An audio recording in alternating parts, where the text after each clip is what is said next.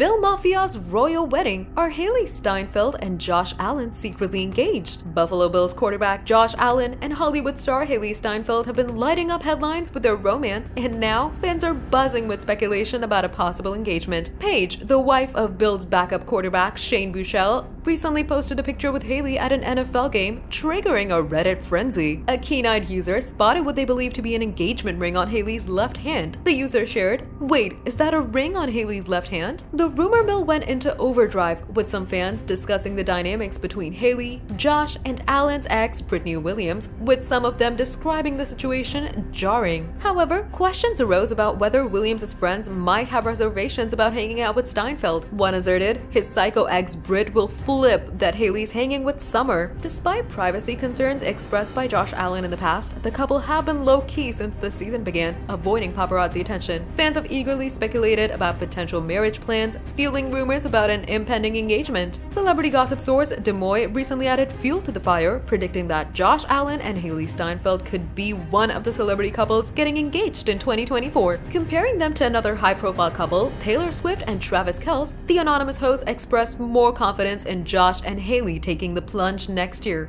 Subscribe to our channel for the latest on your favorite celebrities. Like, comment, and share. And don't forget to press the bell icon for notifications.